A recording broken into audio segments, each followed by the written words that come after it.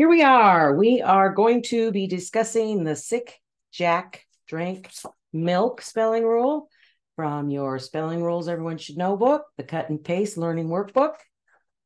On page 15, we see the I'm trying to be as exact and explicit as I can on what to do, but I also thought I would show you a picture of what it looks like other than the picture that is in the book.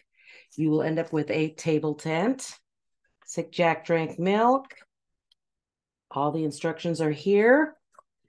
These are what I call sleeping bags. I use a CK because there is not a short vowel sound right before the k. There's an L, O, and there's an S, s here. Some people call it a stopper, but the fact is it's not the short vowel sound right in front.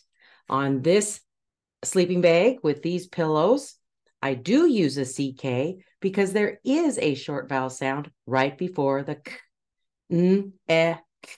So I do use the CK. I also like to, at my workshops, I would hand out these half page uh, booklets. And as we were learning the spelling rules, I had the teachers write it down.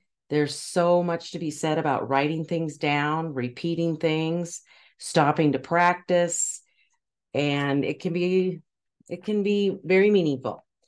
I had one teacher who just loved the idea of the sleeping bags and pillows.